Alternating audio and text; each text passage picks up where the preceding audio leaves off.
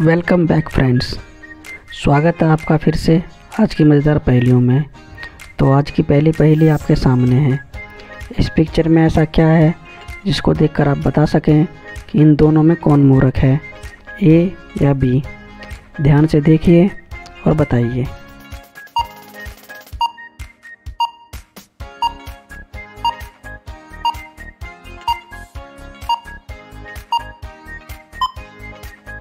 तो दोस्तों, क्या आपको आंसर पता चला कि दोनों में कौन मूर्ख है?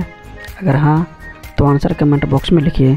अब चलिए, मैं आपको इस पहेली का आंसर बताता हूँ कि इन दोनों में कौन मूर्ख है। तो पहले ए को देखते हैं। वो नहाते हुए मोबाइल चला रही है। और हम बी को देखते हैं तो वो हेयर ड्रायर चला रही है। दोस्तों, क्या आपको लगता है कि नहाते हुए हेयर ड्रायर का यूज़ करना चाहिए? उसको नहाते हुए करंट भी लग सकता है। तो आपको इस पहेली का आंसर पता चल ही गया होगा कि इसमें बी मूर्ख है। अब चलते हैं अगले पहेली की तरफ़। तो दोस्तों, आपके सामने दो पिक्चर है। इन दोनों पिक्चर को मिलाकर एक वर्ड बनेगा। वो वर्ड क्या बनेगा, ये आपको सोचकर बताना है। तो सोचिए और बताइए। और अगर आपको आंसर पता है तो कमेंट कीजिए।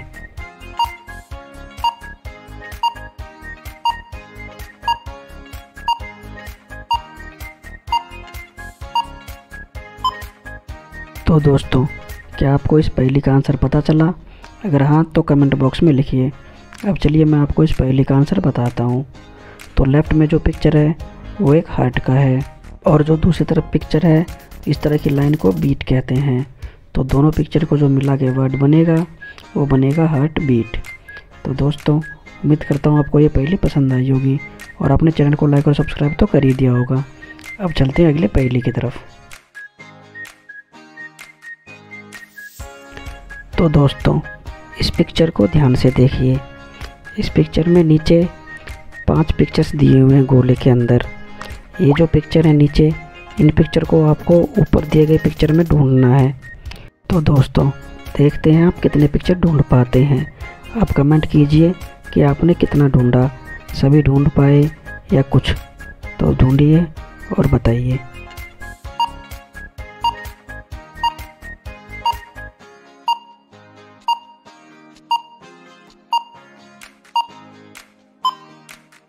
तो दोस्तों, आप कितने पिक्चर ढूंढ पाए? कमेंट बॉक्स में लिखिए। अब चलिए मैं बताता हूँ कि इस पिक्चर में ये सारे पिक्चर कहाँ कहाँ हैं, मैं आपको बताता हूँ। तो पहला पिक्चर ये है। फिर दूसरा पिक्चर यहाँ पर है। फिर तीसरा पिक्चर ये रहा। फिर चौथा पिक्चर ये देखिए, यहाँ पर है। और पांचवा पिक्चर यहाँ है। तो दोस्तों कैसा लगा। कमेंट में ज़रूर लिखिए। अब चलते हैं अगले पहले की तरफ़।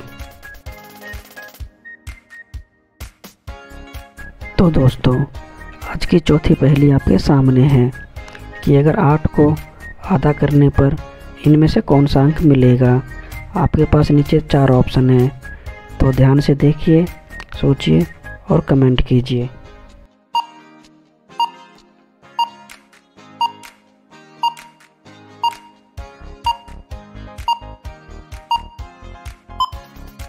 तो दोस्तों, क्या आपको आंसर पता चला या पता है तो कमेंट कीजिए। अब चलिए मैं आपको इस पहले का आंसर बताता हूँ कि जब हम आठ को आधा करेंगे तो नीचे दिए गए आंसर में से कौन सा आंसर आएगा? तो आंसर आएगा ए थ्री, क्योंकि जब हम उसको आधा करेंगे तो ये शेप आपके सामने जो है वही आएगा। तो उम्मीद करता हूँ दोस्तों, इस पहले का आंसर आपके समझ में आया होगा। तो थैंक यू दोस्तों वीडियो को देखने के लिए। चैनल को लाइक और सब्सक्राइब करना ना भूलें। Thank you